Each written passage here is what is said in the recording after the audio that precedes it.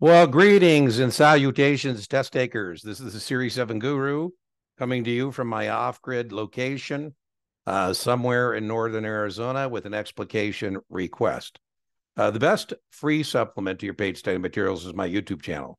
If you don't have a Kaplan Q Bank, I highly recommend it as a paid supplement. It's the best out there. With my 15% discount code at checkout, you can get a 65, 66 uh, Q Bank for a little under $60. Uh, for that commercial, Kaplan allows me to give you a free look on Kaplan content. And, uh, you know, I'll help you with any questions as easier as Kaplan because you can send me the QID like this test taker did. I can bring it up backstage. All right, let's get uh, busy explicating this uh, practice question. Uh, Patrice has an investment portfolio with the following characteristics. So uh, Patrice's portfolio had a return of 9%. Uh, the market did 12. Hmm, interesting. You know, uh, so far it looks like she may have underperformed, but we don't really know uh, based on, uh, you know, we need more information. Uh, standard deviation is 4%, market deviation is 7 Portfolio beta is 0.65. Well, there we go. So Patrice's portfolio is less volatile than the market as a whole.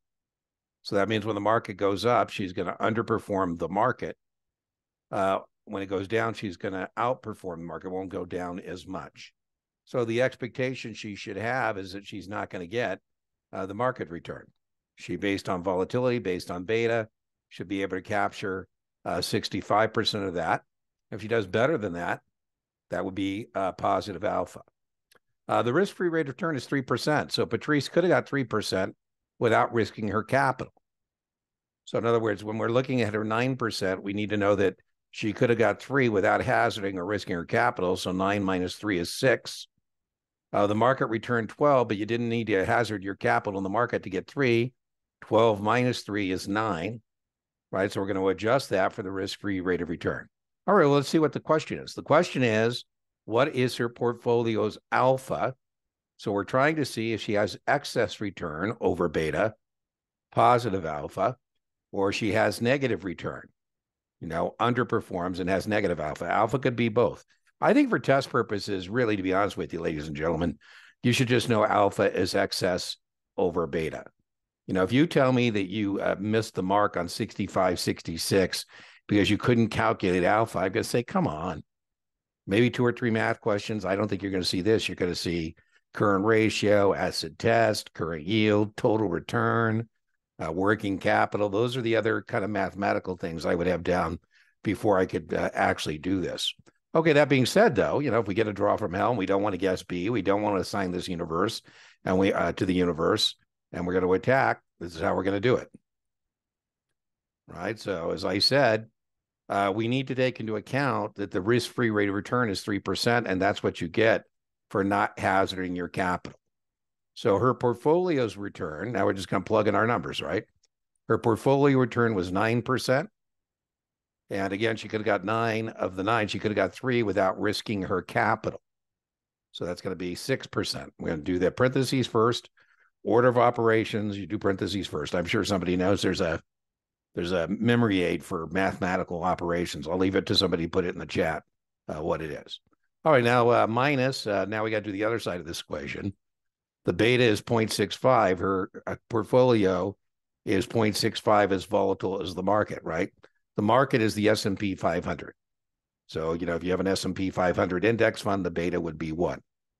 All right, the market return was 12. We could have got 3 with ha- without hazarding our capital.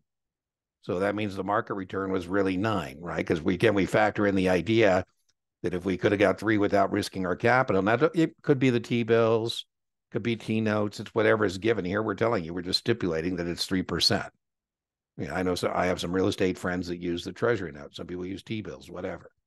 Anyways, now we do that math and we get 5.85, the beta. So she should have the expectation based on beta and the market return that she would have got 5.85 just on the beta, the volatility risk and reward. And she got six. So she did indeed get positive alpha.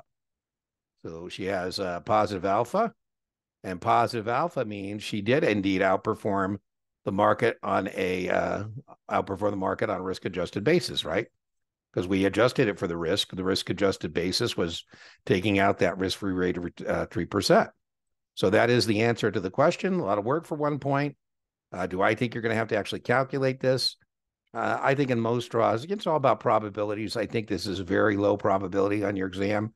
I think your time is better spent elsewhere. Uh, but oh, oh well. Now remember, you didn't need the deviation. That had nothing to do with answering the question. And they do that quite a bit in these exams where they give you information that's not necessary uh, to solve the question. All right. Well, I hope that was helpful. Remember, uh, inch by inch, your 65, 66 is a cinch. Yard by yard, your 65, 66 is hard. And I will see you in the next explication request.